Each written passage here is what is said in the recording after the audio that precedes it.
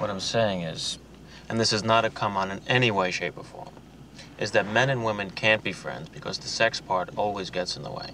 That's not true. I have a number of men friends and there is no sex involved. No, you don't. Yes, I do. No, you don't. Yes, I You do. only think you do. You're saying I'm having sex with these men without my knowledge? No, what I'm saying is they all want to have sex with you. They do not. Do too. They do not. Do too. How do you know? Because no man can be friends with a woman that he finds attractive. He always wants to have sex with her. So you're saying that a man can be friends with a woman he finds unattractive? No, you pretty much want to nail him too.